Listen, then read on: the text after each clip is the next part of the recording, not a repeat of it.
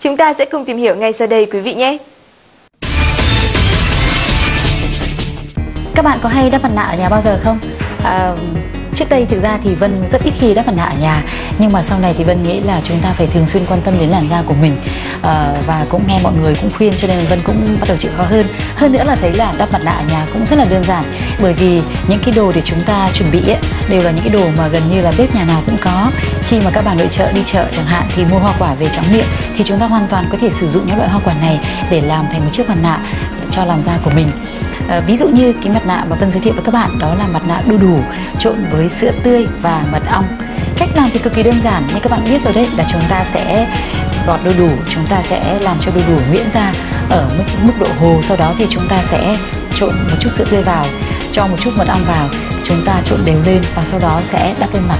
Khoảng từ 15 đến 20 phút sau thì các bạn có thể rửa sạch mặt và sau đó chắc chắn các bạn sẽ có một cảm giác cực kỳ dễ chịu với làn da tươi mát của mình lúc đấy có một kiểu là mặt nạ nữa mà Vân cũng muốn giới thiệu với các bạn đó là chúng ta có thể dùng những quả táo này.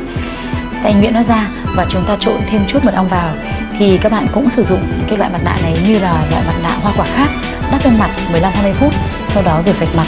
Cùng với táo thì các bạn có thể sử dụng một loại hoa quả khác nữa chẳng hạn như những quả nho. Những quả nho này các bạn cũng xoay nhuyễn ra và khi chúng ta đắp mặt thì cái nước nho này ấy, sẽ làm cho da mặt của chúng ta bớt bị thâm. Vân tin là các bạn sẽ cảm thấy làn da của mình được cải thiện rất là nhiều. Nhưng có một điều các bạn lưu ý, hộ Vân, đấy là khi chúng ta sử dụng những mặt nạ hoa quả này thì các bạn hãy rửa thật sạch trước khi dùng.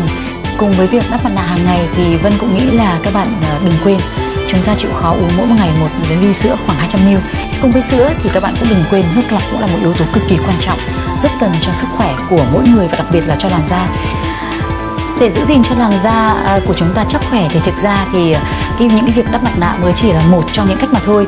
Thế còn khi chúng ta mà đi ra ngoài thì sao? Các bạn thử xem và Vân sẽ có cái gì để chia sẻ với các bạn nhé.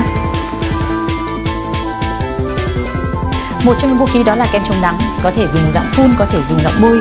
Chúng ta chịu khó trước khi ra đường xoa kem chống nắng thật kỹ ở mặt hay ở tay, ở chân bất cứ vị trí nào chúng ta sợ là ánh nắng mặt trời sẽ làm ảnh hưởng. Và cùng với kem chống nắng thì các bạn đừng quên mang theo khẩu trang, mũ, kính. Với tất cả cái sự bảo vệ chắc chắn đó thì chúng ta sẽ có một làn da khỏe, chắc và đẹp.